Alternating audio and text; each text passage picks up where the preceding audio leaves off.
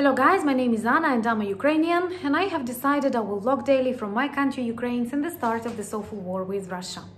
And in my daily videos I try to update you on the important real life situations in my country Ukraine and of course I'm always glad to answer your questions and to clarify some facts from our history, our culture, our background or whatever interests you. But also I'm a PhD and a teacher at the university. I teach the courses that I love and uh, today I had my first real, real offline classes, and that was a long period starting with COVID epidemics and finishing with war.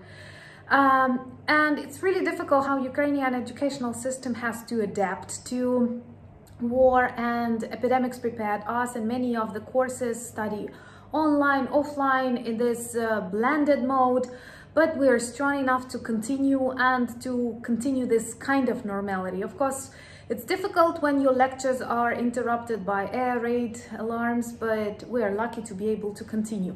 I'm really proud of my students and you know, recently someone left me a comment that today is the 70th birthday of Putin and what will I record about him? And I felt like there is nothing I want to record about him because he is nothing. He is uh, a dying dictator that spoiled not only Ukrainian life, but also the life of Russia for a really long period of time, maybe even for a century.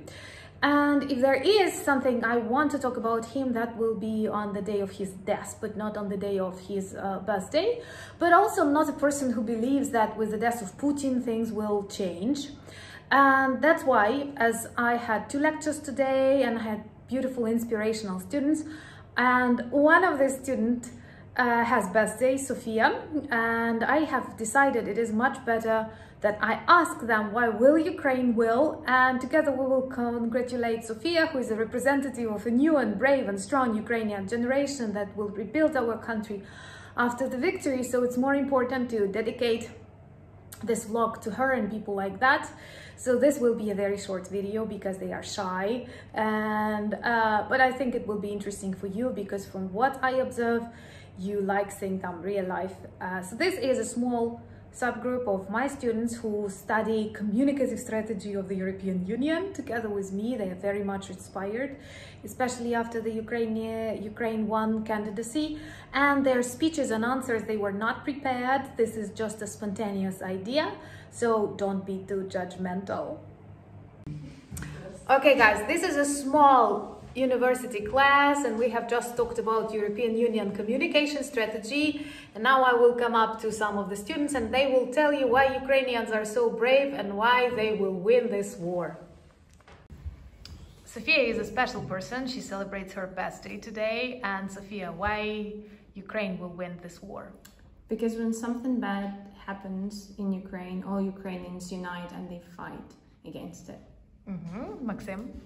I think that uh, what helps us is just um, our goal and uh, we are, um, as Sophia said, we are all united and um, even though we um, we come across some hardships these days, uh, to say the least, but um, we know uh, the importance of, uh, of the victory and that's why we are doing our best in order to achieve it. Okay, thank you so much. Any other ideas, girls? Those who don't want to be filmed might want. Um, we all know for what we make our sacrifice today. Okay, thank you. Yeah, we are stronger, we are smarter, and we are better. okay, girls? We bought a satellite. and uh, we are very resourceful. Mm -hmm. Okay. Yana, any idea?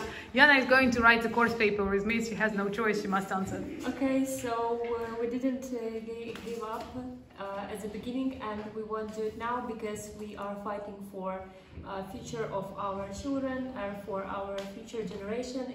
If, and if we uh, know if and when we will win, uh, the world will win.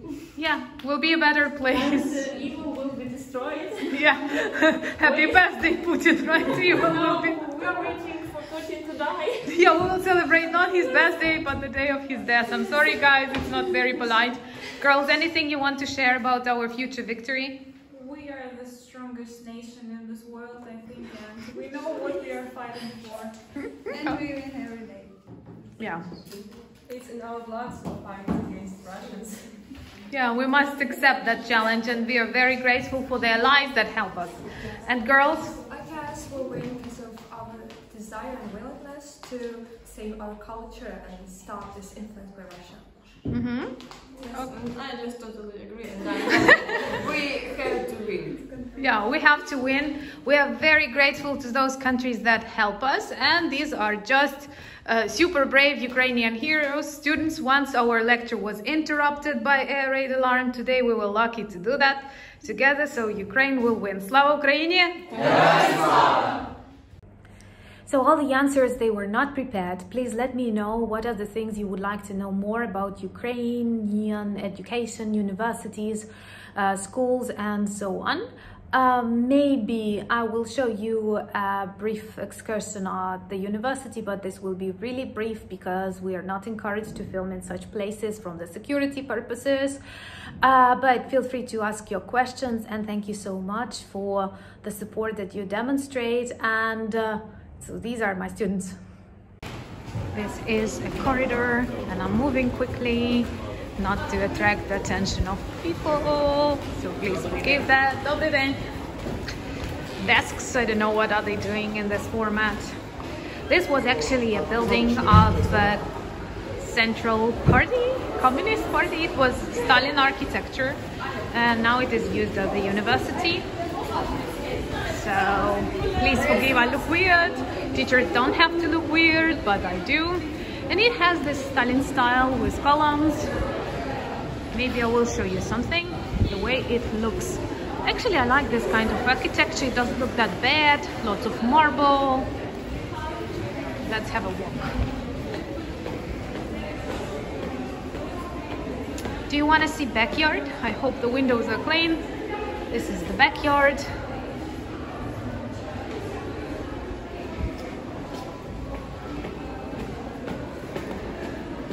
I did not get permission to film, you know. This is Lesya Ukrainka, a famous Ukrainian poetess, and the university is named after her, and there are lots of paintings with her. Photos from the university life, and huge windows. And no, if there is anything else you would like to see, but let's the, let's use the opportunity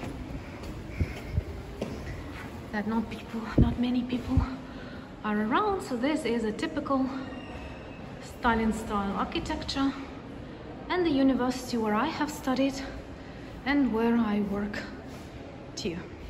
I try not to include sad things in my vlogs, but these are photos of just some of our students who died heroically protecting Ukraine and there are corners like that in many schools, universities all over Ukraine. Actually, I think there are no schools or universities that are left without that and this is really sad because these people were meant to build, to live and they were forced to fight with Russia.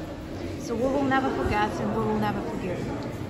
I have showed you the outside of the university for many times but now it is alive because students returned back to studies when they are not interrupted by air raids and this is the university an example of a Stalin architecture. There are many buildings. This is the central one uh, and where my faculty of foreign languages is located.